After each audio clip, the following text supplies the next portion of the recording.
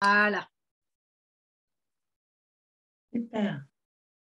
Voilà. donc, comme tu étais en train de le préciser, Magali, effectivement, euh, on va aujourd'hui faire une formule un peu différente et on a décidé euh, d'ouvrir cette rentrée euh, un petit peu des classes cette, cette année-là sur un thème qui nous tient à cœur, comment sortir un petit peu des faux débats autour du potentiel intellectuel.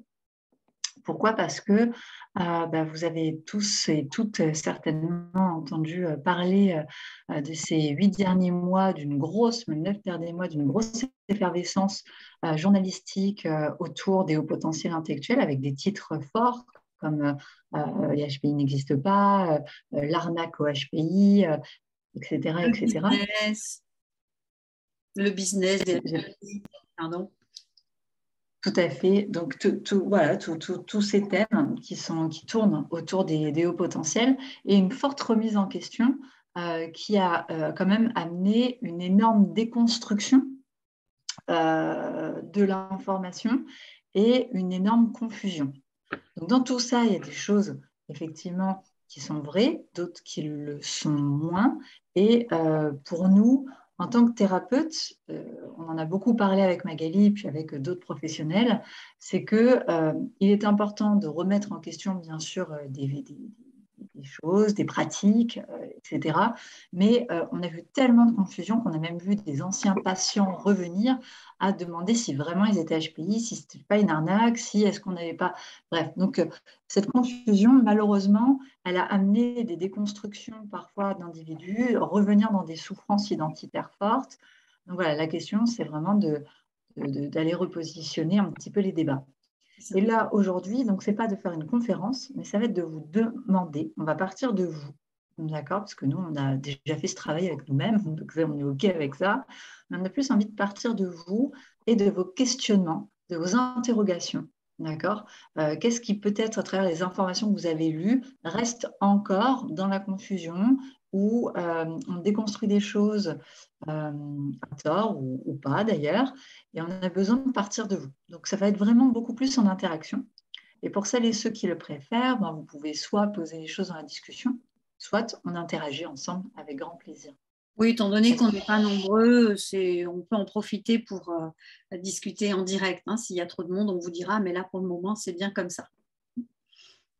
Donc effectivement, il est important de se dire euh, qu'est-ce que ça a provoqué tout ça, tous ces remous? Eh bien, ça a provoqué des, réactions difficiles à la fois chez les personnes qui sont concernées ou qui se croient concernées, qui ne savent pas encore, enfin toutes celles qui réfléchissent autour du thème, et y compris chez les professionnels qui étaient un petit peu euh, dévariés face à toutes ces questions, face à toutes les personnes qui euh, les sollicitaient avec des questions nouvelles parce qu'on entendait vraiment beaucoup de choses comme on vient de, de le poser.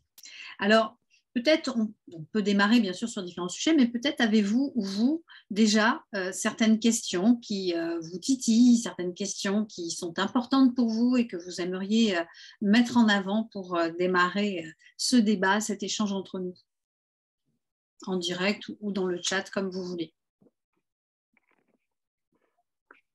Ou ceux qui vous a donné envie de venir à cette conférence ce soir, à cette réunion.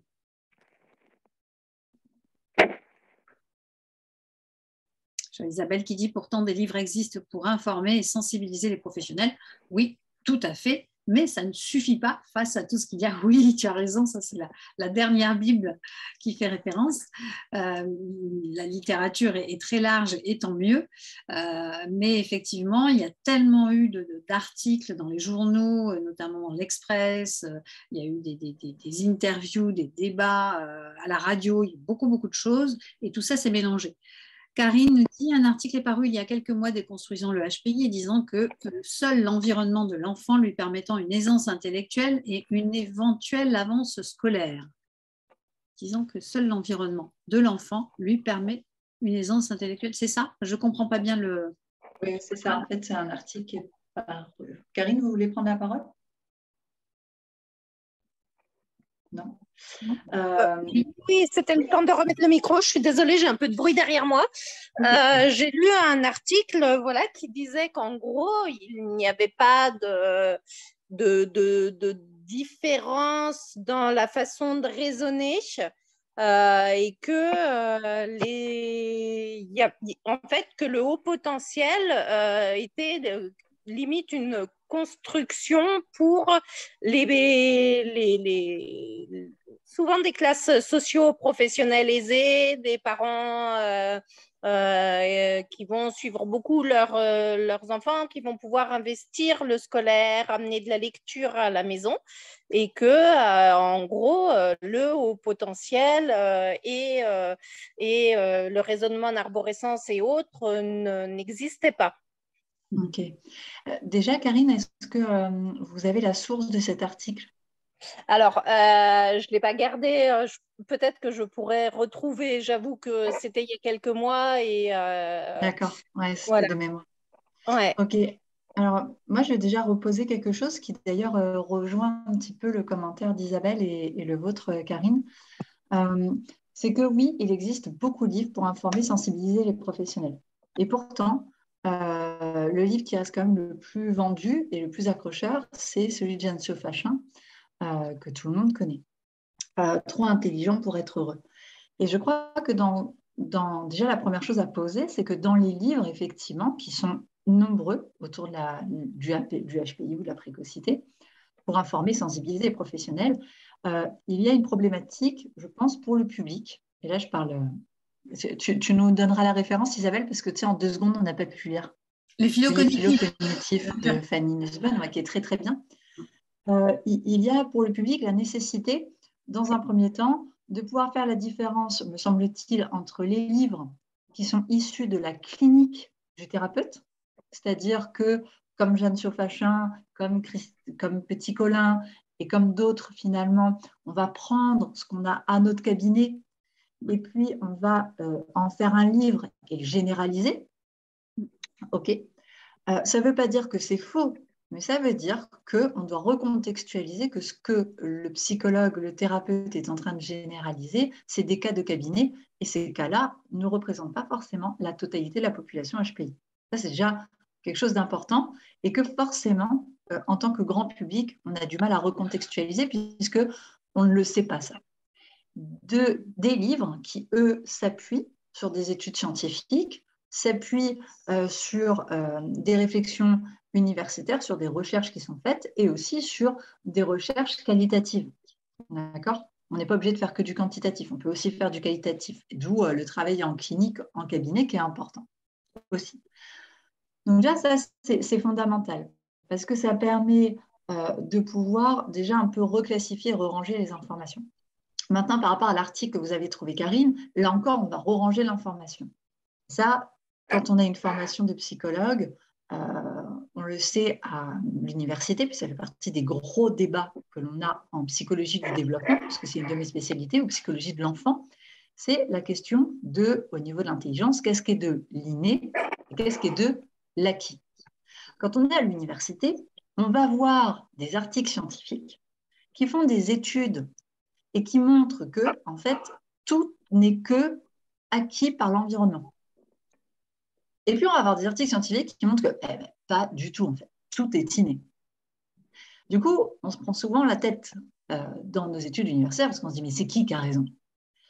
Donc, l'idée, ce n'est pas tant de savoir qui a raison. L'idée, c'est qu'en fait, on va apprendre dans nos études à l'université à lire correctement les articles scientifiques et à comprendre la méthodologie, peut-être influencer la recherche, comprendre les, euh, comment dire, les enjeux théoriques et les adhésions théoriques et des modèles du psychologue qui est en train de faire l'article scientifique. Ce qui se passe, c'est qu'effectivement, on va lire des articles comme celui-ci. En soi, ce n'est pas tout à fait faux. D'accord? C'est-à-dire que effectivement, euh, le haut potentiel intellectuel, tout comme une personne qui a une intelligence normée, tout comme une personne qui a un handicap mental, il va y avoir une influence de l'environnement. D'accord? Et cette influence de l'environnement, elle est normale. Euh, et elle fait partie du développement. Et quand effectivement on va poser que eh bien, euh, les enfants HPI sont souvent des enfants qui bénéficient ou qui font partie d'une classe sociale élevée, ce qu'on ne recontextualise pas, c'est oui, c'est peut-être parce que les parents ont les moyens de faire faire les tests et c'est pour ça qu'on les dépiste plus. On ne va pas prendre en compte certains critères qui sont pourtant essentielles pour comprendre pourquoi finalement on met ça en avant et pourquoi peut-être sur d'autres strates de, de, catégories socioprofessionnelles, on a l'impression de moins les trouver. Donc c'est tout ça qu'il faut prendre en compte et réfléchir dans les articles en arrière-plan. On ne peut pas prendre ça comme étant du tout cuit. Ce que vous voyez bien qu'en l'espace de 10 minutes, je viens de vous synthétiser euh, 5 ans de travail universitaire euh, qu'on apprend à la fac pour réfléchir tout ça. Et forcément, malheureusement, au grand public, eh bien, on vient, euh, comment dire, donner des informations sans les recontextualiser. D'accord? Et sans recontextualiser le prise à partie qu'il y a derrière. et ça, c'est vraiment important. En tout cas, c'est la première chose que j'ai envie de poser dans ce que, dans ce que vous posez, Isabelle et Karine. OK? OK? Y a-t-il des questions? Y a-t-il des réactions par rapport à tout ça? Je lisais la réponse de Cathy qui euh, nous parle de, ce qu'il en est aujourd'hui et j'en profite pour présenter la FEP pour ceux qui ne le connaissent pas, puisque la FEP, c'est l'Association française des enfants à haut potentiel. Alors, des enfants, oui, parce que la FEP existe depuis plus de 30 ans, hein, c'est bien ça, Cathy, euh, mais euh, des adultes aussi, parce que ces enfants, ils ont grandi et que la FEP s'intéresse aussi, bien sûr, au sujet des adultes. Mais à la base, c'est une association qui a été créée pour accompagner les enfants à haut potentiel et œuvrer dans ce sens. C'est une association nationale euh, qui propose des formations, qui propose des conférences, beaucoup d'activités, des ateliers. Et donc, chaque fois que dans une région, vous avez besoin d'informations sur un réseau autour du haut potentiel, vous pouvez vous adresser à la FEP. Donc, merci Cathy encore une fois d'être parmi nous. Et donc, nous connaissons Cathy depuis plusieurs années puisque c'est par la FEP que nous nous sommes connus, Emmanuel et moi, et nous intervenons régulièrement aussi euh, pour eux en conférence. Voilà. Donc, Cathy, tu nous donnes quelques précisions intéressantes sur le débat d'aujourd'hui. Oui, j'ai voulu noter ça parce que c'est vrai qu'on est, nous, des transmetteurs d'informations. Et on a effectivement transmis euh, pendant des années ce que euh, les professionnels euh, observaient dans leur cabinet. Hein. donc, c'était beaucoup plus de, à chaque fois, peut-être de la pathologie. Oui. Ah, ça plutôt que des vraies caractéristiques de haut potentiel. Donc, c'est pour ça que j'ai voulu mettre, il y a les témoignages, il y a ce que les professionnels rencontrent dans leur cabinet et, et voient. Il y a ce que nous, on voit et qui ne vont pas forcément dans les cabinets, que ce n'est pas de la pathologie, et il y a certaines caractéristiques. Hein. Absolument. Et ce qu'il y a, les analyses qui commencent à être un peu plus développées, qui sont à prendre aussi avec des pincettes parce que les, je pense que les panels ne sont pas forcément euh, adéquats à, l'heure actuelle en tout cas. Mais euh, il y a des faussetés qu'on a dit pendant un moment. J'entendais la pensée en arborescence, ça c'est de Jeanne Sauvachin. Tout le monde a une pensée en arborescence. Mm. Ce n'est pas une caractéristique des hauts potentiels. C'est pour ça que je voulais mettre ça, parce que c'était ce que nous, on a transmis pendant des années parce que on lisait euh, la base de Jeanne Soufachin, Olivier Revol, etc. Voilà, maintenant, il y a des études. Hein. C'est pour ça que je voulais marquer qu'il y a des études et des méta-analyses et il faut aller là-dessus. Quoi. Voilà, maintenant. Ça. La pensée en arborescence, tout le monde a effectivement ce type de pensée, mais euh, la caractéristique des HPI, c'est qu'elle est encore plus en arborescence, en tout cas qu'elle va encore plus loin de par euh, leur capacité à associer les choses. Hein. Mais effectivement, c'est tout le monde. La pensée en arborescence, tout le monde pense en arborescence, effectivement. Euh, oui, tu voulais parler, euh, Emmanuel? Je, disais, en fait, c'est souvent que je te le disais en off, Magali, mais que je le disais avec d'autres thérapeutes par rapport à ça. C'est-à-dire que la pensée en arborescence, moi, ça m'a toujours énervé quand je disais ça sur les HPI en me disant, mais quelle connerie parce que en fait, c'est juste que Jeanne Sofachin, elle a fait psycho comme tout le monde. Et en psychologie, on a, à un moment donné, on travaille sur les modèles connexionnistes. Euh, qui est une modélisation intéressante pour comprendre comment fonctionne le cerveau humain. Et là, on parle beaucoup justement de, de, pensée en arborescence. Et dès qu'on vient travailler le langage et les réseaux sémantiques, on travaille de pensée en arborescence. Et je pense qu'elle a dû juste repenser à ça et se dire, mais ça colle très bien avec les HPI.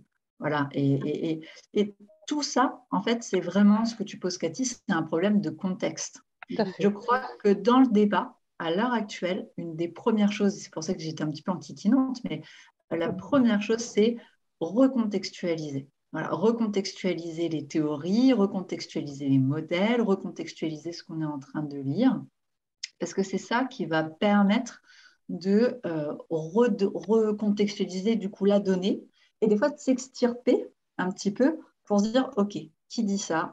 Comment on le dit? Et pourquoi? Voilà. Et j'en profite pour euh, préciser que effectivement, euh, dans nos cabinets, nous voyons plutôt des personnes qui sont en souffrance, qui viennent nous voir parce qu'il y a des choses qui sont difficiles. Mais tous les HPI euh, ne sont pas en difficulté. Et ça, on en parle pas assez souvent, je trouve. Hein, d'ailleurs, le titre de Jeanne Fachin, trop intelligent pour être heureux, bah oui, mais il n'y a pas que des HPI malheureux. Hein. Il y a des HPI qui vont bien et qui ne savent même pas qu'ils sont HPI d'ailleurs.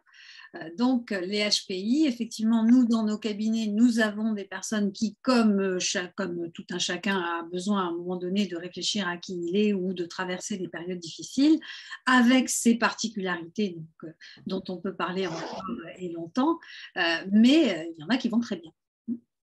Très bien. Et du coup, là, je vais retrouver dans ma clé USB, parce que je dois la voir, la référence d'un article de Mehdi, Mehdi Liratni euh, qui a fait mmh. une, très belle aussi euh, méta-analyse sur l'HPI et qui a été un des, pas un des premiers, mais en tout cas, si je crois peut-être, à dire non, mais pas du tout.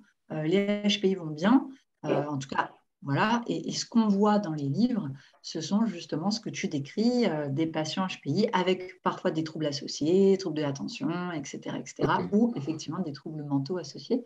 Et du coup, on ne peut pas généraliser. Je vais vous retrouver la référence. D'accord.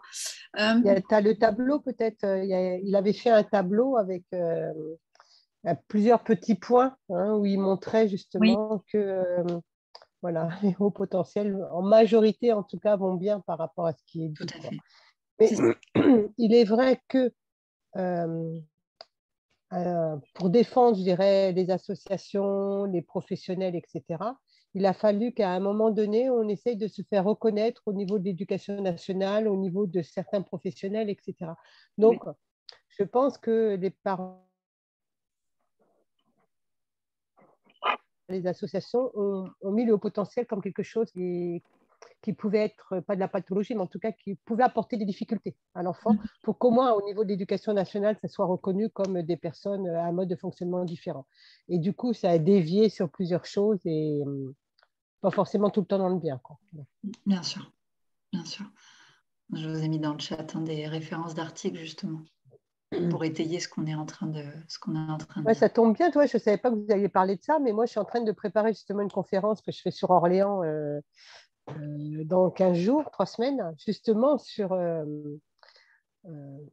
les mythes, les faussetés, les, les, faux caractéristiques données justement et et les Ratni et, et, compagnie, je les ai lus, relus, revus, décortiqués lors de leurs conférences, etc. Et c'est vrai que c'est assez intéressant, quoi. C'est une autre ouverture, en tout cas. Mmh, absolument. absolument. Du coup, tu pourras, tu pourras prendre les références là.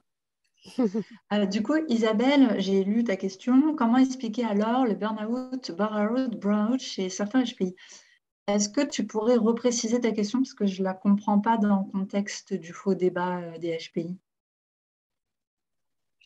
oui, parce qu'on parle de ceux qui vont bien, ceux qui ne vont pas bien, et tu dis comment expliquer les burn-out, burn-out, burn-out. Voilà, ben, on peut les trouver. mais je, voulais juste que Isabelle recontextualise pour ne pas passer à côté et comprendre le lien en fait. Tu nous entends, Isabelle? En fait, il faut que tu enlèves le micro. Tu, as mis. Euh, ah, tu n'as plus de micro, tu n'as pas de micro euh, Juste ah, en bas de l'écran, tu, tu, tu l'as pas? Ah, ça y est. Oui, ça y est. Tu veux parler? Ah, bah non. Ah, c'est dommage. Ah, bah tant pis. Papier pour nous. Ok. Euh, euh, du coup, euh, toi, tu as compris le sens de la question, Magali, parce que moi, je le sais. en fait, si je comprends ce que tu veux dire, Isabelle, c'est comme on est en train de dire que nous, on reçoit particulièrement les personnes dans nos cabinets qui ne vont pas forcément bien euh, et qu'il y a des HPI qui vont bien. Isabelle nous dit, mais alors comment expliquer les burn-out, les burn-out, les burn-out chez certains HPI Eh bien, Emmanuel va, va, argumenter davantage, je suppose, parce que c'est vraiment quelque chose qui, qui est son, son, sujet fétiche. mais ce que je peux en dire, c'est que euh, comme dans toute la population, il y a des gens qui font des burn-out, euh, mais qui soient HPI ou pas HPI déjà. Hein. donc, euh, tout le monde peut être concerné par le burn-out, le burn-out, le burn-out. Donc, ça, c'est une chose. Maintenant, on peut détailler la question si tu veux, Emmanuel. Je te laisse prendre la suite. Euh, je veux bien les détailler. C'est pas que je, je c'est pas que je suis une enquiquineuse ou peut-être ce soir, je sais pas, il y a l'enquiquineuse en moi qui est sortie, je sais pas. Euh, dans ce cas-là, je suis désolée. Euh, je dirais d'aller un petit peu ailleurs la prochaine fois. Mais du coup, le, thème du débat, c'est comment sortir des faux débats autour du HPI. Effectivement, tu viens de recontextualiser que tout le monde en fait fait des burn-out, des burn-out, des burn-out, pas plus spécialement les HPI que les autres. Du coup, je ne vois pas trop euh, ce que j'ai à expliquer en fait. Bon, dans le sens où, euh, tu, vois, je n'arrive pas à saisir, ou peut-être il faut que tu m'expliques Magali, j'arrive pas à saisir euh, je pense en que... quoi le faux débat remet en question ça. C'est à côté de, peut-être du sujet, effectivement, parce que ben, on parle du sujet et qu'on a envie de réponse. Hein, Isabelle avait envie de poser cette question-là. Mais en tout cas, tout ce qu'on peut en dire, c'est qu'effectivement, euh, tout le monde peut être sujet à, ce type de, de, problème et que ce n'est pas, euh, pas lié au, HPI. Seuls les HPI ne font pas des burn-out. D'accord? Par contre, si tu veux, Isabelle, effectivement, que, un peu plus d'explications sur le burn-out, etc. Euh, dans ce cas, il n'y a pas de souci. Je pense qu'on fera une conférence ou, tu vois, sur le burn-out euh, de manière spécifique et comment il s'exprime effectivement chez, euh, chez les personnes à haut potentiel intellectuel. Et c'est quelque chose que l'on que l'on développe dans notre formation, puisque pour ceux qui ne nous connaissent pas, Emmanuel et moi avons créé une formation qui s'adresse aux professionnels de l'accompagnement, aux professionnels de santé, aux professionnels des ressources humaines et aux professionnels euh, du management et, de, l'éducation. Euh, et euh, cette formation tient compte de nombreux sujets et, développe de nombreux sujets, dont le burn-out de façon très spécifique. Nous avons dans toutes les parties de notre formation beaucoup, beaucoup de choses à aborder, dans celle-là. Mais du coup, si je continue et que je problématise autrement, parce que voilà, pour la reprendre par rapport à notre thème, euh, finalement, la question qui, qui j'ai l'impression, est sous-jacente, peut-être je me trompe, en tout cas, c'est la question qui est sous-jacente à beaucoup de personnes, euh, c'est, bon, bah, comme on est en train de remettre en question le haut potentiel intellectuel, euh, finalement, quelle est sa validité euh, dans, dans l'expression des troubles, etc.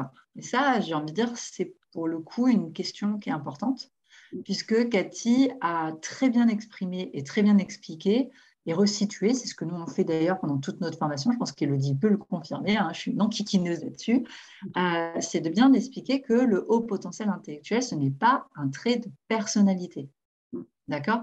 Ça, on en entend aussi partout, des thérapeutes qui veulent se faire de l'argent. Oui, c'est une réalité. C'est ce que vous lisez sur Internet, les articles. Et je pense que c'est ça l'intérêt qu'il y a eu dans le soulèvement du débat HPI. Ça a été quand même de, et ça c'est cool, de mettre un coup de pied à la, à la fourmilière pour, dire attention, il y a un méga business, les gens ils sont du fric en or parce qu'en fait, euh, ben, il y a un mal-être qui est là, un désœuvrement des personnes à se connaître.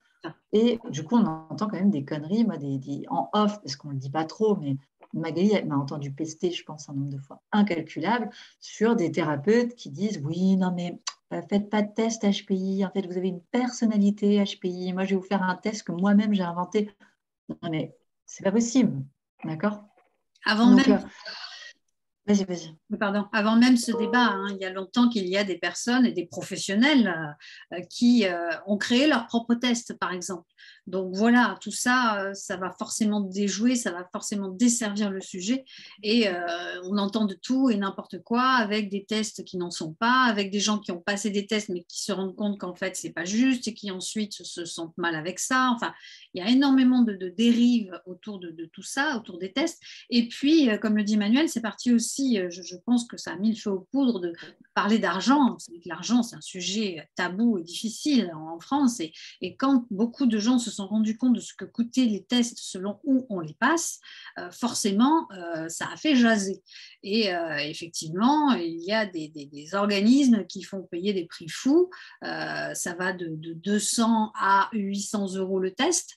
Euh, il y a quand même un gros décalage. Et pourtant, le test, Emmanuel est là pour euh, nous le préciser, puisqu'Emmanuel, en tant que psychologue, fait passer des tests euh, et, connaît bien le sujet et peut justement argumenter là-dessus sur le fait que bah, un test est un test, qu'il soit à 200 ou à 800 euros, à mon sens, avec tout ce que j'ai appris sur le sujet, euh, c'est toujours le même protocole, c'est toujours le même travail, sauf que, bien sûr, il y a certaines personnes qui le font avec plus de finesse que d'autres, avec plus de profondeur que d'autres, avec euh, des, des détails qu'on ne trouve pas partout. Mais en tout cas, ça ne justifie pas certains prix très, très élevés. Non, une, ça ne le justifie pas. Et puis, donc, dans la recontextualisation du débat, c'est quand même euh, au mois de janvier, hein, cette enquête qui a été faite sur Cogitose, qui a mis un gros pied, un gros coup de pied dans la fourmilière. Donc, euh, et pas pour rien, puisque pour moi, avoir été formée euh, aussi au test complémentaire de Zuliger, en fait, on sait que le test complémentaire de Zuliger, c'est une grosse fumisterie. ils n'ont pas terminé la validité et du coup, ils utilisent quand même le livre de cotation du Rorschach pour euh, terminer le test de Zuliger. Donc, euh, bref, donc oui, il fallait bien qu'il y ait un coup de pied dans la fourmilière. Et heureusement, parce que ça va permettre aussi de remettre du vrai et du faux, permettre aux gens d'arrêter de payer 500 euros un test, de croire que Cogitos, parce que c'est Jeanne Sofachin, ben euh, c'est elle qui a toute vérité, et de revenir sur le contexte scientifique de ce que c'est le haut potentiel intellectuel. Et là, c'est ça qui est important parce que c'est ce qu'on pose tout le temps avec Magali, ce que tu viens de recontextualiser, Cathy. Le haut potentiel intellectuel n'est pas une personnalité, c'est une structure cognitive. D'accord? Au même titre que quand on parle du handicap mental, on n'a pas une personnalité d'handicap mental. On a un fonctionnement intellectuel avec un handicap mental. Et eh bien, le haut potentiel intellectuel, c'est pareil, c'est un fonctionnement intellectuel de, qui, qui montre des hauts potentiels et qui montre que sur des compétences cognitives, c'est-à-dire des compétences qui permettent de rendre intelligible le monde, eh bien, on va avoir des personnes qui vont avoir des structurations cognitives avec des rapidités, des temps de traitement différents, avec des euh, manières de connecter autrement les informations aussi entre elles. Mm, mm, voilà. Voilà ce que ça veut dire. Bien sûr, ces différences, elles peuvent amener parfois de la souffrance ou pas elles peuvent amener des manières de, bah, forcément de concevoir, de vivre et de ressentir le monde différemment. Mais voilà, on va reposer les bases. Mm. Et c'est ça qu'il ne faut pas oublier en fait dans le haut potentiel. Et que le haut potentiel peut s'accompagner de troubles associés. Parce que je pense que Magali, tu peux la tester, Cathy aussi, enfin plein de personnes, Elodie aussi, qui travaillent, Isabelle, qui travaillent avec les hauts potentiels intellectuels. Le nombre de fois que j'ai entendu dire non, mais en fait, moi, je suis haut potentiel, je ne peux pas être je sais pas moi, je peux pas être psychomaniaco-dépressif. Ah bon? Et pourquoi? Ben, ben, parce que je suis au potentiel. Ah ben non, ça se passe pas comme ça en fait. C'est là vous parlez d'un fonctionnement intellectuel et après on parle de troubles cognitifs associés comme un trouble de l'attention ou de troubles mentaux. Mais le HPI ne protège pas d'avoir une dépression ou de je ne sais pas quoi. Donc tout ça, c'est hyper important à recontextualiser parce que beaucoup de personnes ne comprennent pas ce que c'est le potentiel intellectuel. Ça n'est pas une psychopathologie, mais ça n'épargne pas des psychopathologies. Dire comme ça. Peut-être on pourrait, Emmanuel, pour euh, reprendre aussi autour de, tout ce qui se dit dans, le sujet, peut-être euh, en quelques mots, les, les origines pourquoi on en est venu à, développer ce sujet du haut potentiel Parce que ce qu'on entend beaucoup hein, dans, les médias depuis, ce, remue-ménage de ces derniers mois, c'est que euh, oui, on fait des tests euh, à tort et à travers, tout le monde veut se tester, euh, tout le monde se dit à haut potentiel, on entend beaucoup ça. donc, peut-être on peut en profiter, je ne sais pas ce que tu en penses, pour rappeler que c'est pas quelque chose qui se consomme comme ça juste pour le plaisir. Tiens, euh, je vais voir si je suis à haut potentiel, comme euh, je sais pas moi, je vais voir si euh, si je suis rousse ou si je suis brune. Euh, c'est pas quelque chose qui se passe comme ça. C'est quelque chose qui advient à un moment où ça peut aider une personne qui a besoin soit de, mieux se connaître pour avancer par rapport à un parcours de vie, soit à développer autrement ses apprentissages parce que justement son fonctionnement cognitif vient à euh, lui poser quelques difficultés, euh, ou des difficultés relationnelles, ou des difficultés euh, autres. Enfin, bon, il y a tout un tas de, choses qu'on développe et, dont on a déjà parlé dans les précédentes conférences, pour ceux qui ont suivi. Mais en tout cas, tout part de quelque chose qui est posé. Ça n'est pas juste une idée, tiens, je vais voir si mon enfant est à haut potentiel. Hein, c'est pas comme ça que ça se passe. Et j'ai entendu des choses comme ça et j'ai lu des choses comme ça ces derniers temps tout autour des débats. Alors, je, te rejoins et en même temps, pas tout à fait vraiment. Hmm. C'est-à-dire que tu vois, dans ma réalité clinique, mais c'est juste ma clinique, hein, d'accord Je ne dis pas qu'elle elle est généralisable, mais dans ma clinique, j'ai quand même eu, euh, tu vois, depuis, depuis que j'exerce, donc depuis très longtemps, ça ne me rajeunit pas, euh, je veux dire, des parents qui quand même viennent parce que euh, leur enfant, tiens, bah, pas plus tard qu'il y, a, y a deux mois, tu vois, leur enfant est un petit peu curieux, et puis surtout bah, avec les autres, tu vois, il n'est pas forcément très sociable, bref, et on reprend tous les petits critères, et la personne dit, moi, en fait, je pense à au potentiel. L'hypothèse, c'est ça. On fait le test et non, ce n'est pas le cas. Donc là, on est vraiment obligé de parler de ce qui se passe sur le plan éducatif, c'est-à-dire comment les parents éduquent leur enfant, qui fait que du coup, l'enfant euh, a ces euh, critères ou ces symptômes, on va pousser plus loin. Mais j'ai quand même, ça m'arrive quand même vraiment, je dirais quand même souvent, d'avoir des parents qui juste accrochent sur certains dits symptômes qui n'en sont pas parce qu'ils ont lu les bouquins de M. Pachin ou de Petit Colin, et euh, vont dire ben voilà, il y a un haut potentiel. Parfois c'est le cas, parfois c'est pas le cas. Mais euh, du coup, du coup, c'est quand même euh, une réalité, je pense, clinique que beaucoup de psy ont. Et je crois que ce qui se cache derrière dans ce débat, tu vois, c'est plus un problème de formation et d'éthique des psychologues qui font passer les tests et qui est nécessaire à retravailler. Et le problème, je crois, dans le débat à l'heure actuelle, c'est que euh, les universités, dans leur formation initiale, ne se sont pas saisies de ce débat, que euh, pas que les universités aussi, tu vois, des formations qui sont faites euh, sur les HPI n'ont peut-être pas ressaisi ce débat et continuent, tu vois, à entretenir cette confusion parce que justement, c'est du business. Mmh, mmh, mmh. Et, et, tout l'objectif, c'est justement arriver à sortir de ça pour dire, mais non, en fait, il faut poser des formations claires et comprendre que quand on vient euh, chercher un haut potentiel ou pas, c'est une hypothèse, quand on fait passer un test, et que s'il n'y a pas de haut potentiel, c'est d'autres choses qu'on va trouver en fait. Mais qu'est-ce qui se cache derrière? Et c'est tout ce que tu étais en train d'amener, Magali, c'est-à-dire quelle est la posture, quelle est l'écoute qu'on a derrière. Et en fait, tout ça, tu vois, c'est un problème de formation, quoi. C'est ça, c'est ça. C'est pour ça que moi, je le vois aussi depuis ma fenêtre à moi, puisque moi, je suis gestalt thérapeute, donc je ne fais pas passer des tests. J'accompagne donc les personnes qui euh, viennent me voir avec différentes euh, demandes, avec euh, différents motifs.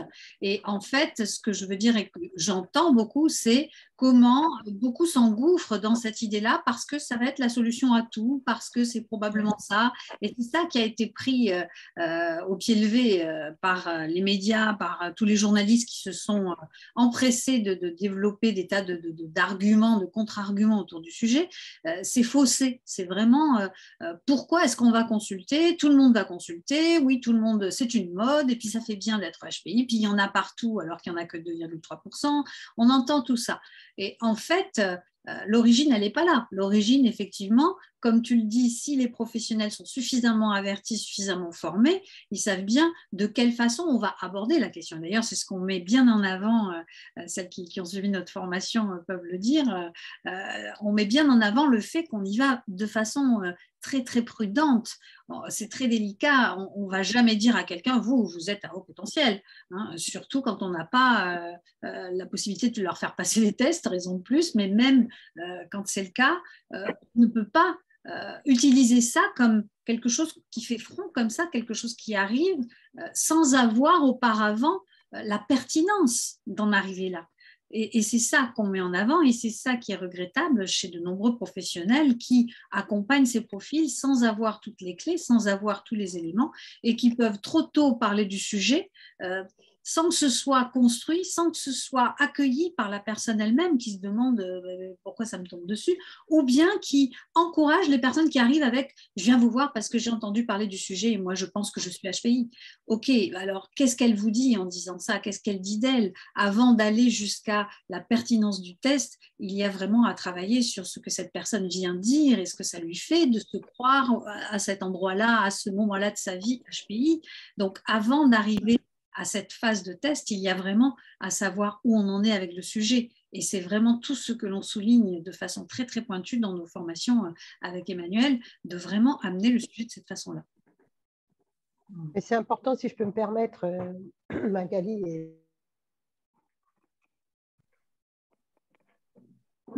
Pour moi, je trouve, c'est que les médias ne sachent pas identifier vraiment les experts et que la lumière qui est donnée pour l'instant sur le haut potentiel, elle est vraiment braquée que sur les problèmes.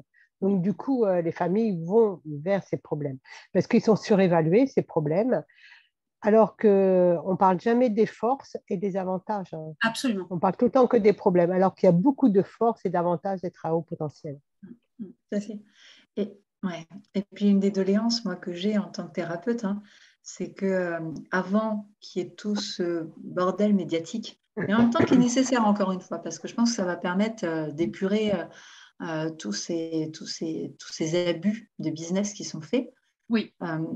mais le, la problématique de fond moi, que j'ai, et c'est pour ça d'ailleurs qu'on a fait cette formation avec Magali, hein, et que moi je, je, suis à fond dans cet engagement, c'est que déjà dans la psychiatrie française, le haut potentiel n'est pas pris en compte. Ce qui est une aberration. C'est-à-dire que sur la courbe de Gauss, on veut bien prendre en compte le handicap mental, on veut bien prendre en compte le fonctionnement d'une intelligence normale, mais on ne veut pas prendre en compte l'autre côté de la courbe. Ce qui est quand même incroyable. Et, et du coup, j'ai peur qu'effectivement, enfin j'ai peur, non, je le constate déjà, que tout ce débat qui euh, dénigre le haut potentiel intellectuel desserve encore plus euh, les petites évolutions qui étaient en train de se mettre en place euh, autour de la reconnaissance du potentiel intellectuel dans l'expression des troubles. Et, c'est vrai qu'il va y avoir, tu vois, Cathy, euh, c'est pour ça que c'est hyper important, un vrai travail de fond sur remettre le débat, réexpliquer ce qu'est le haut potentiel, réexpliquer ce que sont les troubles associés, les troubles mentaux, mais surtout aussi quand même exprimer en quoi, euh, comme tu le posais Isabelle, comme d'autres le posent, en quoi quand même un trouble associé, quand il se pose sur un terrain d'un fonctionnement HPI s'exprime à des moments différemment qu'une personne qui a un fonctionnement intellectuel normal ou qui a un fonctionnement intellectuel en termes d'handicap mental. Et ça, c'est des études qui n'existent pas encore en France.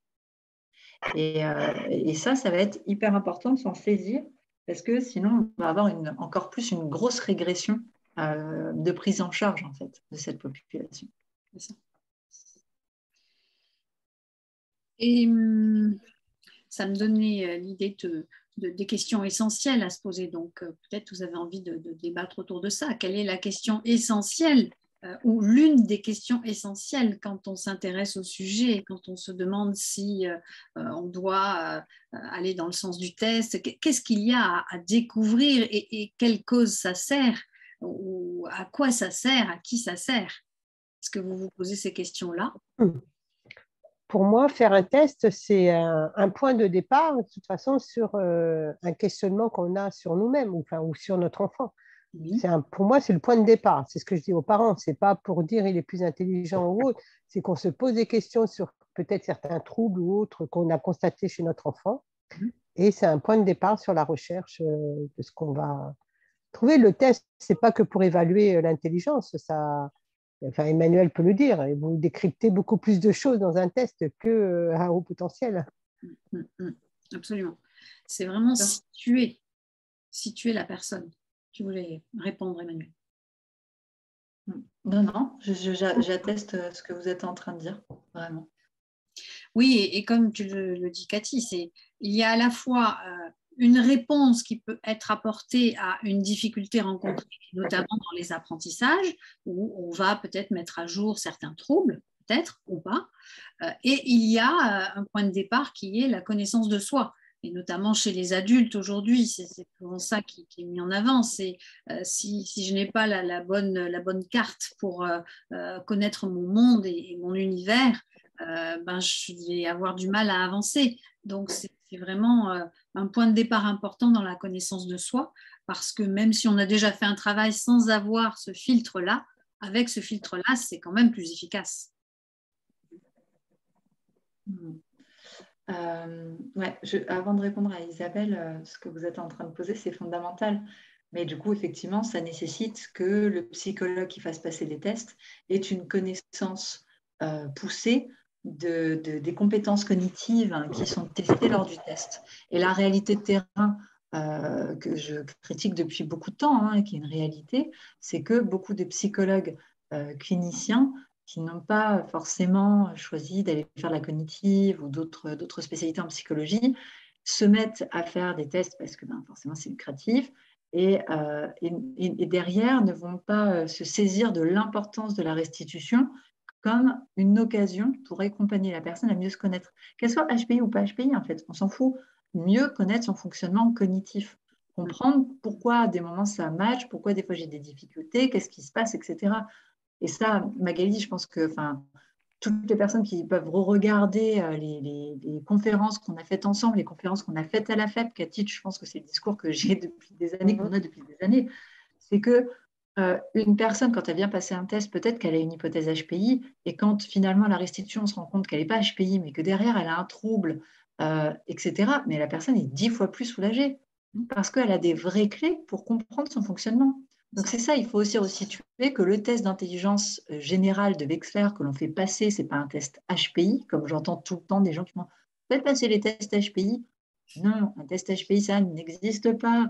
Et donc, du coup, on réexplique, voilà, c'est le test d'intelligence de Wexler, intelligence générale, et de bien réexpliquer, en fait, qu'est-ce qui est intéressant, en fait, là-dedans. De comprendre que quand on se saisit de capter comment ça fonctionne cognitivement, bah, c'est génial parce que ça nous donne des clés pour comprendre pourquoi des fois c'est compliqué avec l'extérieur, du coup, comment ce soit moins compliqué. Bah, c'est tout ça qui est pertinent dans un test. Or, bah, ce n'est pas tous les psychologues qui font passer des tests qui sont dans la capacité de pouvoir apporter ce genre d'éléments dans une restitution.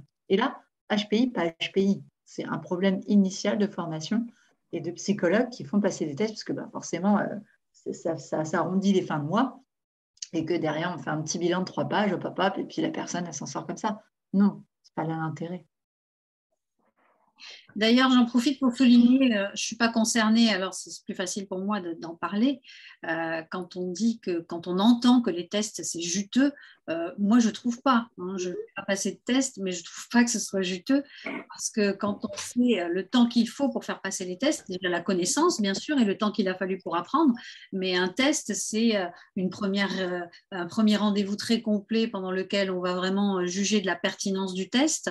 ensuite, bon, bah, Emmanuel dira mieux moi, mais bon, je, suis tellement dedans que je continue.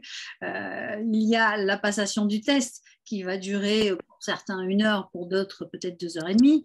Euh, ensuite, il y a le travail du, professionnel qui va analyser les, résultats, qui va faire son rapport et pas juste un rapport type comme font certains avec une page et demie, mais qui vont justement faire le lien avec tout ce qu'ils ont pu observer et, faire un rapport digne de ce nom.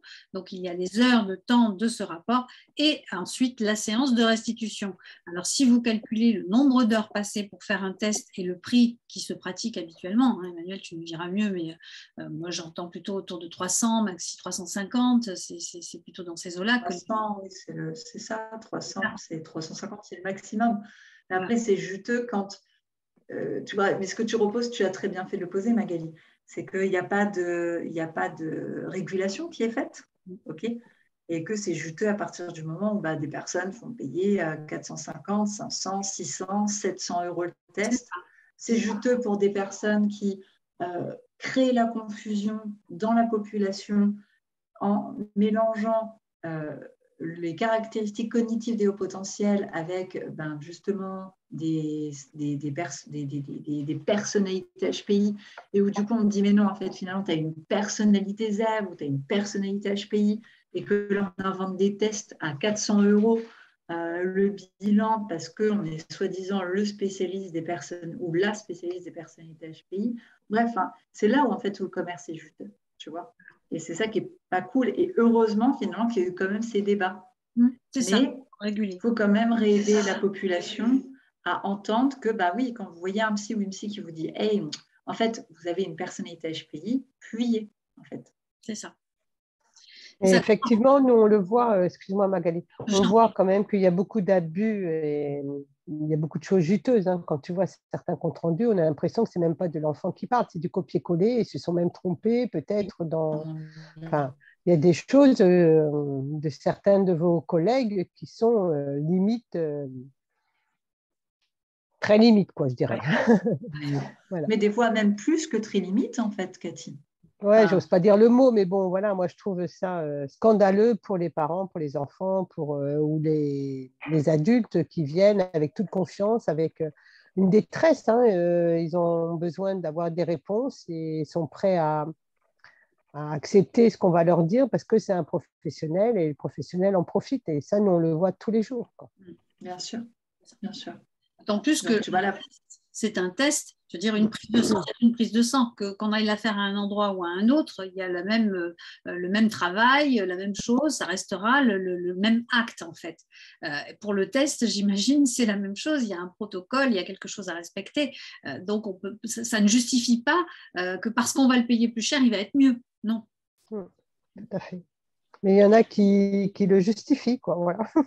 voilà. Il y en a qui vont payer très très cher et que nous, quand on revient, ils n'ont même pas détecté, admettons, une dyspraxie visospatiale ou euh, voilà, c'est nous par habitude, parce qu'on n'est pas professionnel et on ne veut pas faire de la psychologie de comptoir, mais euh, par habitude, on se dit, hmm, il y a peut-être un doute sur ça, il serait peut-être bien de voir un orthoptiste. C'est comme... Moi, je trouve ça dommage que ce soit nous, bénévoles d'association, d'orienter vers d'autres professionnels, alors que pour moi, c'est la personne qui a passé le test, si elle est vraiment honnête et qu'elle fait bien son travail, doit orienter sur ce qu'elle a vu s'il y a des troubles. Absolument. Oui, tout à fait. Tout à fait. Euh, très bien. Je vois qu'il est 20h54. Est-ce que, euh, et que du coup, on a, on a orienté un petit peu aussi le, débat vers ce qui nous passionnait. Mhm. Euh, et puis par rapport aux éléments que vous avez déposés dans la discussion, est-ce que est-ce qu'il y a, voilà, peut-être, et, je pense qu'il n'y a pas de honte à avoir, ni de, ni de peur de s'exprimer, parce que les confusions, elles sont là vraiment partout.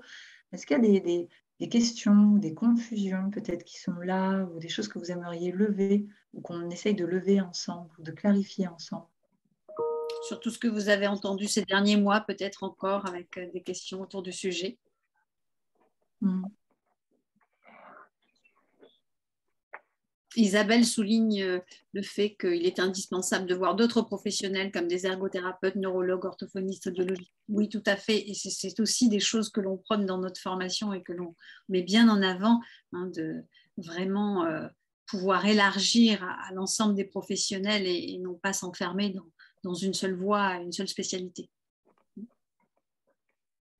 Et comme le, dit euh, comme le dit Cathy, il y a du sur-mesure à faire. Hein. Il y a des personnes qui vont, euh, à qui euh, certaines pratiques vont convenir plus qu'à d'autres. Et donc, nous avons, nous, en tant que professionnels, à orienter et, à définir et à sentir ce dont la personne peut avoir besoin en fonction de comment elle réagit, de là où elle en est. Une, une des choses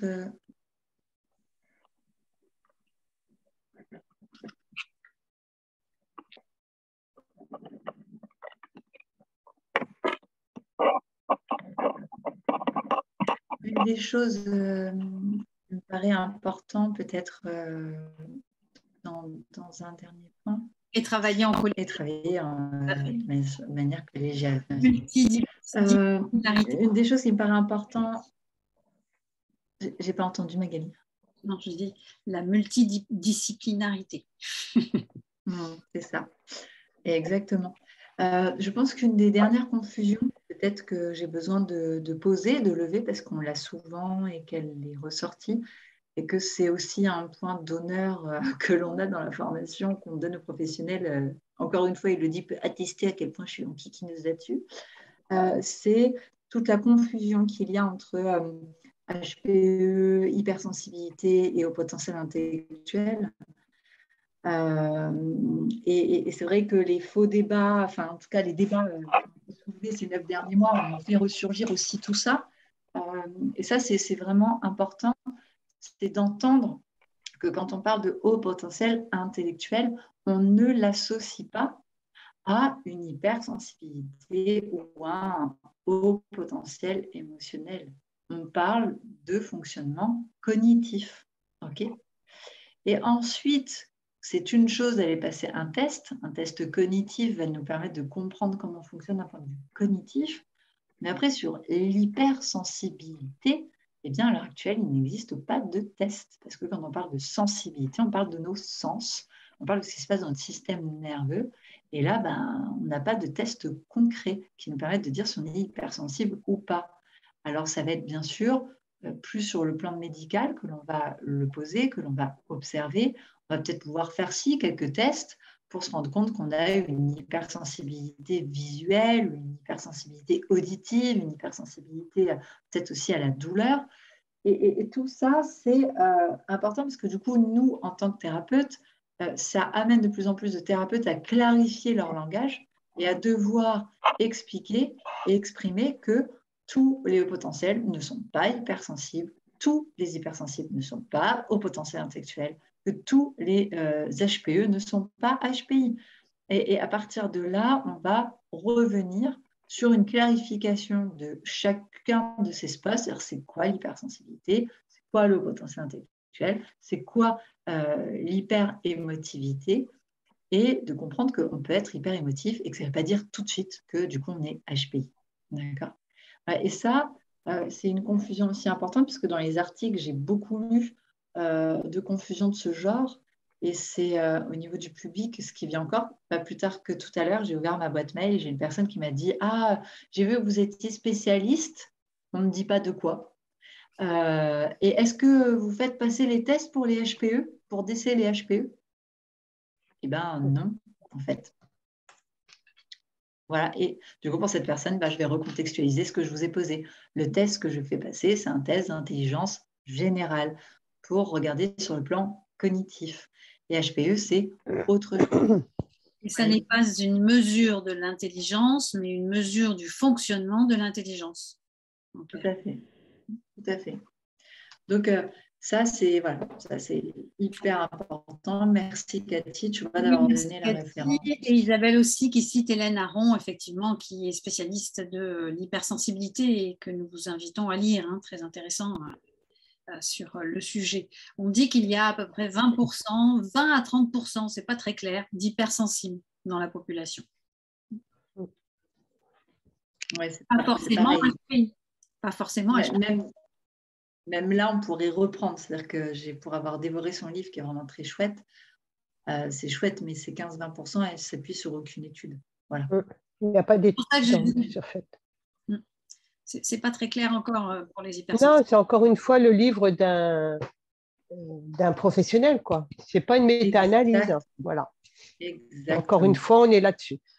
Moi, en tout cas, sur les méta-analyses, ce que j'ai pu retrouver, et tu peux me confirmer ou pas, Emmanuel, parce qu'il ne faut pas que je dise de bêtises, moi aussi, à ma prochaine conférence, mais ce que j'ai retrouvé, en tout cas, ce qui a été dit entre les fausses et les bonnes informations, c'est que les personnes à haut potentiel euh, on peut retrouver en tout cas des meilleurs scores. Apparemment, ce n'est pas contredit hein, en créativité. Euh, sur certains tests d'humour, pas tous, hein, mais sur certains tests d'humour, sur euh, des tests aussi de jugement moraux, sur la pensée divergente, hein, et non pas la pensée en arborescence, on parle bien de pensée divergente, qui est plus sur le cognitif, sur l'esprit critique également, euh, sur la matière de résistance à de nombreux biais cognitifs. Hein. il y a des petits jeux sur ça où on voilà, y a une résistance beaucoup plus accrue. Euh, sur la, ben, ça, on le savait déjà depuis très longtemps. Euh, sur la sympathie et l'empathie cognitive, encore une fois, un cognitive, hein, celle qu'on nomme en tant que cognitif, et l'intelligence intuitive. Hein, voilà. voilà. ce que j'ai retrouvé, en tout cas, sur les particularités où ils ont des, les meilleurs scores, en tout cas. Tout à fait. Et, et du coup, euh, après, c'est à recontextualiser parce que, par exemple, dans la créativité, c'est des études qui ont été faites par euh, toute l'équipe de l'UBART euh, sur les tests de créativité qui va jusqu'à l'âge de 13 ans, me semble-t-il, et qui, qui, effectivement montre ce que tu, ce que tu, ce que tu poses, Cathy, avec, et que la créativité va souvent avec la pensée divergente, c'est-à-dire cette capacité à penser autrement que là où on converge euh, ce que l'on a appris socialement, euh, tout en sachant que les études montrent quand même qu'à partir de 12-13 ans, les enfants qui avaient, et là, ce n'est pas pour les hauts potentiels intellectuels, hein, c'est quand on fait passer des tests de créativité avec pensée convergente et divergente, on sait que les enfants qui ont une pensée extrêmement créative et euh, divergente avant 13 ans vont au contraire, à partir de 13 ans, rentrer dans un moule et dans le fait d'être beaucoup moins créatif et dans une pensée très convergente. Mm. Et ça, HPI, pas HPI, euh, tout le monde confondu. Mm. Et oui, oui, ce que tu poses aussi sur l'empathie cognitive, elle est importante puisque ben, l'empathie cognitive, ça va être toutes les études qui vont être faites sur les neurones miroirs et les HPI pour expliquer en fait cette empathie cognitive qui est présente. Donc, ce que, ce, que, tu dis, ce que tu dis, c'est vrai. Et, et, en fait, ce qui est important, Cathy, et tu vois, c'est ce que j'explique dans la formation, mais je pense que c'est aussi ce que je vais faire un jour parce que je pense que ce sera beaucoup plus clair, c'est en fait de reprendre tout ce que tu as posé là et, et, faire comprendre, c'est ça qui est essentiel pour une personne HPI, c'est faire comprendre que en quoi, on va prendre par exemple son empathie cognitive, en quoi le fait qu'elle ait une empathie cognitive qui est différente des autres, d'accord, génère une sensation de différence dans la communication. Mm. Et comment on peut faire en sorte justement qu'elle aille mieux?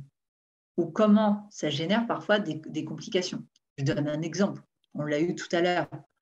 Euh, l'empathie cognitive de Magali s'est mise en place pour pouvoir combler, et je l'ai fait exprès, c'était pour clarifier la pensée d'Isabelle, mais a mis en place tout de suite hop, hop, pour faire les liens et combler en fait euh, la pensée d'autrui.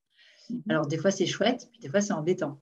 Donc c'est regarder en fait tout ça et c'est permettre à la personne à haut potentiel de comprendre en quoi ces différences cognitives, d'accord, elles font leur spécificité à la fois leurs forces et parfois aussi leurs faiblesses, et des faiblesses forcément dans la communication des idées, dans la communication euh, de comment elles voient le monde, ou comment elles l'ont pas forcément perçu, mais aussi analysé.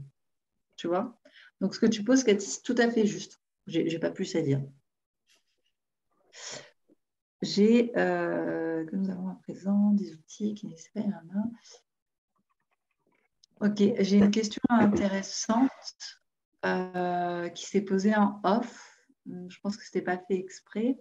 Euh, qui était est-ce que vous pourriez faire le point sur les spécificités physiologiques avérées par des études scientifiques sérieuses du cerveau HPI Sachant que nous avons à présent des outils, imagerie, etc., qui n'existaient pas il y a 10 ans ou 20 ans.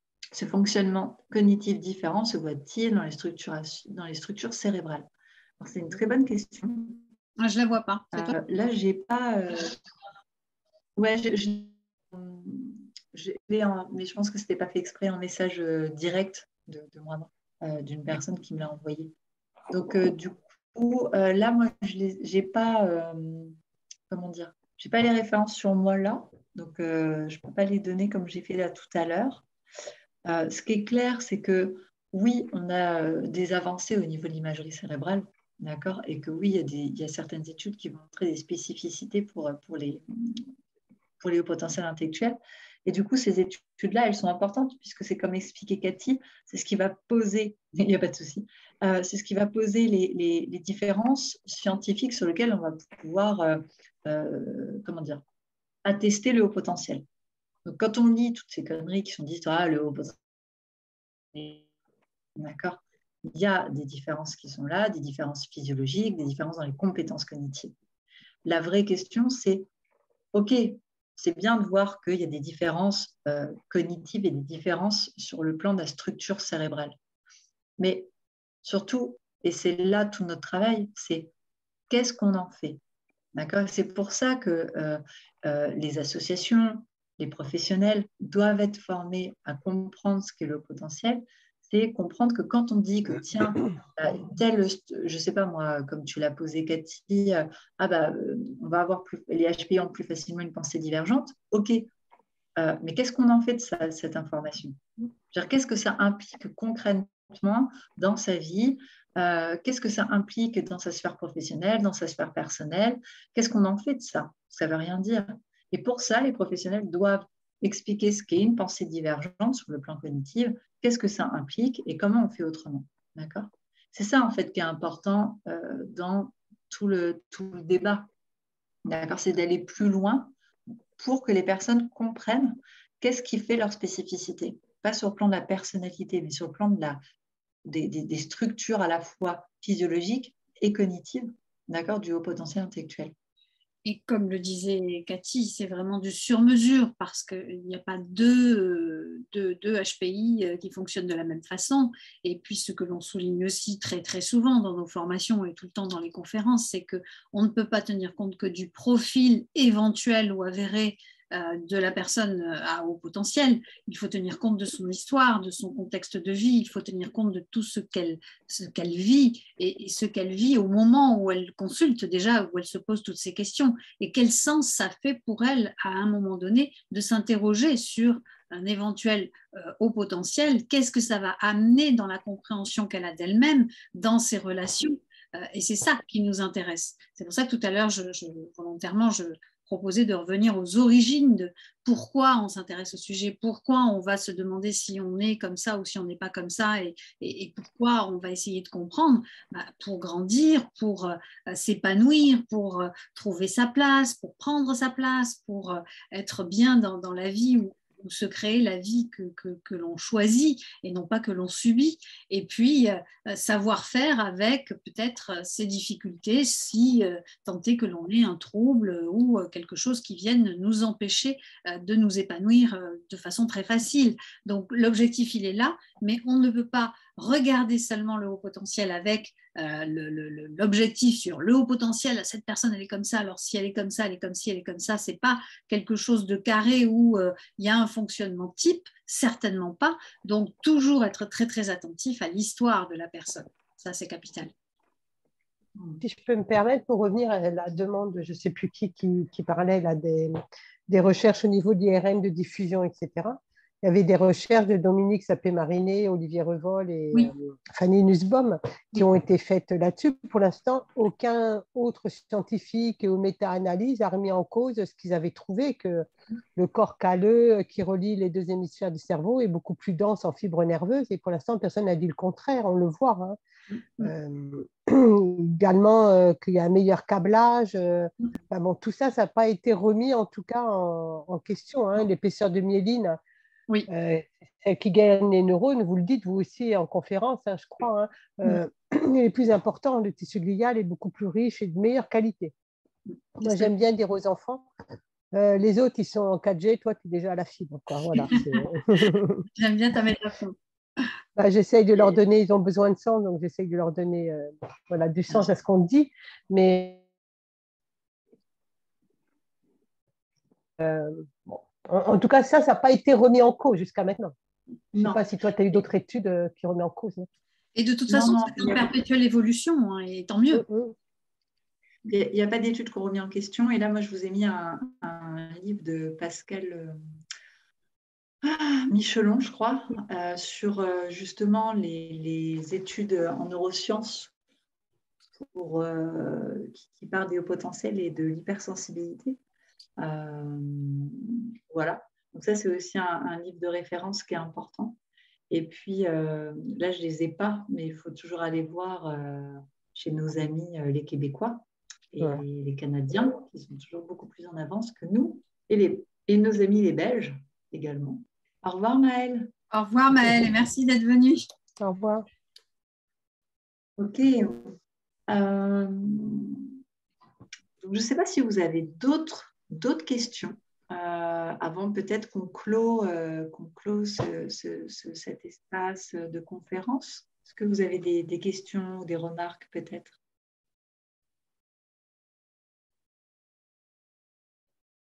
On a fait un, tour euh, assez complet, mais bon, je pense.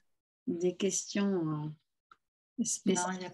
Isabelle parlait du docteur Michel Habib effectivement, il, a, il, a, écrit également. Oui, ouais, ouais, qui est à Marseille. Mhm. Donc, vous voyez, il y, a, il y, a, quand même pas mal de, références, de points d'appui euh, qui se font de plus en plus, et tant mieux pour clarifier le débat. Euh, s'il n'y a pas d'autres questions, euh, personnellement, je tenais à vous remercier de, de cet espace-là qui s'est fait entre nous pour pouvoir essayer de, reclarifier, de reposer un petit peu euh, euh, ce, débat. Merci Karine pour, euh, pour la référence. Ah oui, merci. Et, je tenais vraiment à te remercier Cathy de ta présence parce que finalement, tu vois, c'est un, un, débat qu'on a fait à trois et c'était très enrichissant de, de, t'avoir dans, ta, tu vois, dans ta structure, dans ta réflexion, quelque chose que j'ai toujours apprécié chez toi et dans ce que tu donnes à la FEP, tu vois, euh, cette, cette profondeur euh, de recherche, de référence. Et donc, je te remercie d'avoir pris ta place avec nous. Bah, je te remercie de m'avoir accueilli, oui, surtout que je me suis un petit peu intégrée. Mais moi, j'aime bien vous écouter, j'aime bien vous entendre, j'aime bien voilà, toutes vos analyses, tu sais, voilà, toutes tes recherches aussi, Emmanuel. Je sais que tu es très pointilleuse et tu es titilleuse, enquiquineuse comme moi je peux l'être et y a des choses qui me plaisent aussi. Et donc, voilà, moi, je trouve que c'est très bien d'échanger. On peut avoir des maladresses les uns et les autres. On peut euh, avoir dit des faussetés à un moment. Et il faut qu'on bouge avec eux. Quoi, voilà. Exactement. On n'est que des transmetteurs, nous, en tant qu'association, de toute façon. Hein. Euh, aujourd'hui, on dit ça, demain, on va peut-être encore dire autre chose. Hein. Bien sûr, mais c'est une belle humilité, tu vois. Et, et, du coup, à la fois ton témoignage que tu as posé là, euh, tu vois, par rapport à la FEP, mais surtout, euh, je te parle toi personnellement dans tout ce que tu viens d'apporter aujourd'hui. Merci beaucoup. Tu vois, c'est. Moi, j'aime partager mes recherches, quoi. Je sais pas que c'est pas que pour moi uniquement. Il faut euh, aussi euh, aider les parents, les, les adultes qui, qui, sont en recherche de, de questionnement, quoi. Tu vois, j'ai beaucoup étudié aussi Dabrowski et je pense qu'il y a des choses qu'on devrait reprendre sur Dabrowski. Parce que moi, je, enfin, il y a des choses qui m'éclairent et bon, voilà quoi. Mm. Et c'est vrai qu'il oh, commence à en reparler. Hein. Oui, ça revient souvent sur euh, tous les congrès. Nicolas Gauvry commence aussi. Euh, c'est pas mis de côté complètement quoi. Mm, mm, oui. Oh Je suis toujours euh, très contente de, te, de t'avoir parmi nous, Cathy. Merci. Merci. Ben, moi, c'est un plaisir. Dès que j'ai vu ton, ta petite annonce, j'ai dit, ah, bah, tiens, je suis, j'ai rien. C'est sympa pour la rentrée. Et puis, euh, moi, j'aimerais terminer sur le fait que justement, c'est aussi le sens de ce que l'on fait et c'est ça qui nous anime à faire tout ça. C'est que la conclusion de tout ça, c'est quoi? C'est pas dire euh, il y en a qui disent pas bien, il y en a qui font ceci, cela. C'est effectivement mettre de la clarté, mais euh, surtout pour apporter à la cause, au sujet, pour pouvoir avancer parce que dans nos métiers, on sait bien qu'on ne peut pas avoir de certitude. Hein. si on a des certitudes, on ne fait pas ce métier-là. Je crois que c'est vraiment quelque chose d'important d'avoir cette posture, d'être toujours en quête de, recherche, de, savoir euh, comment on peut avancer encore. Et moi, ce que j'aime dans, ce sujet-là, c'est que depuis des années que je baigne dedans, euh, je vois bien toutes les progressions, toutes les choses. Il y a des choses qu'on disait il y a dix ans qu'on ne dit plus aujourd'hui. Euh, parce que ça a avancé, parce qu'il y a des personnes qui cherchent et qui nous font grandir aussi. Donc, c'est important de se mettre en réseau pour pouvoir échanger justement, plutôt que de rester dans son coin comme certains, certains le font avec euh, euh, la science infuse. Hein. Euh, non, on, a besoin d'avancer et on se fait avancer les uns les autres en, apprenant, mais avec un socle, avec un socle de sécurité, avec quelque chose qui tient la route et qui nous permet de pouvoir diffuser les bonnes informations. Et que l'on soit professionnel ou pas, puisque cette conférence de ce soir, cette réunion de ce soir, elle s'adressait, comme vous le savez, et je, je dis ça pour le rappeler à toutes les personnes qui vont nous regarder en replay, puisqu'il y avait presque il y avait 45 personnes, je crois, qui, voulaient euh, participer ce soir ou avoir le replay. Donc, euh, je m'adresse à tous ceux qui nous regarderont en replay. Merci pour l'intérêt que vous manifestez aussi pour le sujet. Et l'idée, ben, c'est de diffuser le plus possible, mais de diffuser euh, justement des choses qui sont vérifiées, qui sont vérifiables et qui nous permettent entre nous d'avancer et de remettre en question pour le bien de tous, pour le bien de ces personnes qui ont besoin d'être accompagnées et le bien de tout, tout le monde parce que euh, comprendre le profil à haut potentiel, c'est permettre à chacun de se comprendre mieux, qu'on soit HPI ou qu'on ne le soit pas. moi, c'est vraiment euh, ça, mon intérêt dans le sujet, c'est ça, c'est accueillir toutes les différences et faire en sorte que l'on arrive à se comprendre. Donc, avec cette particularité-là, eh bien, ça peut aider dans de nombreux domaines. Voilà. Bien sûr. Donc, euh, eh bien, écoutez, nous vous donnons rendez-vous euh, lors de la prochaine euh, conférence qui a lieu le 12 septembre, qui cette fois sera réservée aux professionnels parce qu'elle va être l'occasion d'annoncer notre prochaine cohorte, puisque nous allons lancer la, prochaine cohorte le 29 septembre euh, jusqu'au 18 octobre. Hein, si je ne me trompe pas, Emmanuel, c'est ça? Les sessions seront réparties entre le 29 septembre et le 18 octobre, donc 30 heures de formation. Si vous souhaitez les informations, bah, vous nous envoyez un message, un mail, on vous enverra le lien, mais vous le trouverez certainement ou vous le recevrez. Euh, donc, cette formation, euh, eh bien, on en parlera davantage encore le 12 septembre, euh, lundi 12 septembre à 20h. Sinon, bah, vous nous retrouvez sur les réseaux, Emmanuel et moi. Nous animons bah, chacune nos formations respectives. Nous accompagnons en individuel, j'accompagne en groupe aussi. Emmanuel s'occupe aussi d'éco-psychologie. On n'en a pas trop parlé ce soir, mais on, en parle régulièrement. Donc, vous aurez toutes les informations sur nos réseaux et, par mail. Et si vous avez des questions, euh, pour tous ceux qui sont en replay, et qui n'ont pas pu participer ce soir, n'hésitez pas à nous envoyer vos questions par mail et nous nous débrouillerons pour y répondre de notre mieux. Voilà. Et rejoignez la fête si vous ne connaissez pas encore. Super. On fait plein d'actions et bientôt une conférence avec Emmanuel au mois d'octobre, justement ah sur euh, ah l'éco-anxiété. C'est vrai. Et je crois qu'une autre au mois de septembre aussi. Ah, au mois de septembre. Sur euh, comment gérer son hypersensibilité. Non, c'est pas un truc comme ça? Euh, Attends, septembre, septembre. Oui, hein, tout à fait. Oui, oui, le 21 septembre. Mm. Ouais, je me disais que je l'avais travaillé. L'hypersensibilité. Oui, oui. ouais. ouais. J'avais fait mes devoirs quand même. C'est bien. bah, très bientôt à tous. Merci encore. Merci. Bonne, rentrée, bonne, euh, bonne nouvelle cohorte et que tout se passe très bien dans votre nouvelle formation. Merci. À bientôt. Merci beaucoup. Cathy. Au revoir. À bientôt. Bonsoir à tous. Merci d'être venu. Mm-hmm.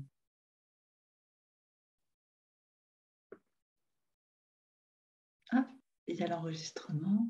L'enregistrement. Attends, il faut que je le retrouve. Hop là, je ne suis pas sur le même ordinateur que d'habitude. Donc, ça y est, on va couper. À bientôt.